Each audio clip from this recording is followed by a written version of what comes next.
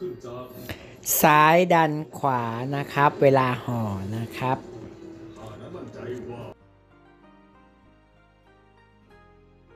เป็นมหาการและมหาการเอาน้ำทานะครับบริเวณแป้ง แผ่นเกี๊ยวซ่าเริ่มต้นแล้วก็เอาซ้ายดันขวานะครับด้วยกำเนิดก็ถ้าพี่ๆน้องๆท่านใดยังทเกี๊ยวซ่าหรือเกี๊ยวำทำไม่เป็นไปสร้างชีวิตใหม่นะครับผมก็ให้ดูคลิป ทำตามนะครับผมค่อยๆทำนะครับ เดี๋ยวก็ได้เองนะครับผม มันดูเหมือนยากนะครับ แต่ว่าห่อง่ายมากนะครับผม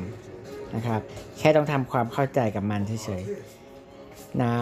ำถูบริเวณ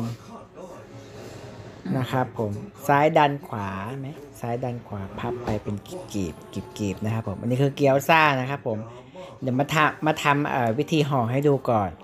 โดยส่วนเรื่องไส้เนี่ยเดี๋ยวไว้มีโอกาสจะร่วมศึกษากันนะครับ จะทำให้ดูนะครับผมนะครับ อันนี้ไส้เกี๊ยวซ่าก็คือเป็นไส้ที่ว่าทำพวกเห็ดกำปั้นอะไรพวกนี้ครับ หรือว่าลูกชิ้นเอามาหั่นหั่นหั่นทำไส้เกี๊ยวซ่าได้นะครับผมในในรูปนี้ก็คือเอามาจากตรงนี้แหละครับ อร่อยเหมือนกันครับผมแซ่บ ขอบคุณที่ติดตามนะครับ กดไลค์ กดแชร์ เป็นกำลังใจให้ตลอดมานะครับผม ก็ผิดพลาดประการใดก็ขออภัยด้วยนะครับผม มีอะไรก็แนะนำชี้แนะเพิ่มเติมทักทายพูดคุยได้นะครับผมที่ YouTube นะครับผมเกี๊ยวซ่าก็จะลักษณะอย่างนี้เวลาเราทอดเราใส่น้ำมันแค่นิดเดียวแล้วเราก็ทอดนะครับผม เอาน้ำมันใส่ไปในกระทะนะครับ แล้วก็เอาเกี๊ยว วางไปหน่อยนะครับผม เสร็จแล้วพอน้ำร้อนๆเอาน้ำใส่นิดเดียวพอครับใส่แล้วปิดฝา พอปิดฝาสักพักหนึ่งเอาขึ้นมา แล้วก็เอาตะเกียบพลิกตามรูปเลยครับผม ค่อยๆพลิกค่อยๆพลิกนะครับผม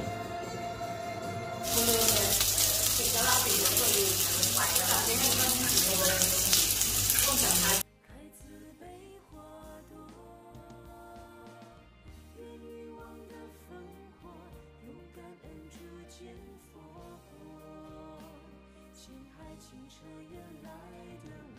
Cha.